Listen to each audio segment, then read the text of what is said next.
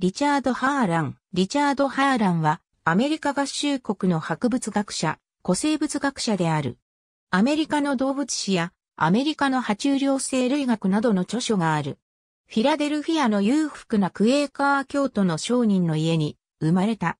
弟に、ラドヤード・キプリングの短編小説、王になろうとした男のモデルとされる、ジョサイア・ハーランがいる。ペンシルバニア大学で医学を学ぶが、卒業する前に繊維として、船に乗り組み海外へ出た。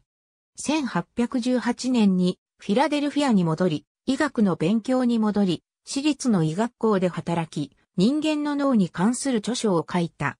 医師として働く一方、比較解剖学に興味を持ち、比較解剖学の講義を行い、あらゆる動物や人間の頭蓋骨のコレクターとなった。フィラデルフィア自然科学アカデミーの会員に選ばれ、1825年にアメリカの動物誌、1827年にアメリカの爬虫類生類学を出版した。アメリカ合衆国で出版された最も早い自然史の著作の一つである。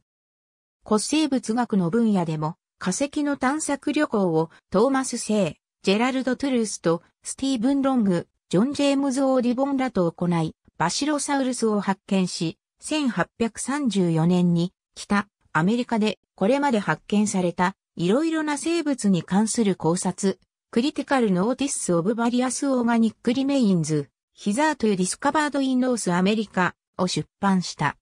ハーランは植物の学名で命名者を示す場合に、リチャード・ハーランを示すのに使われる。ありがとうございます。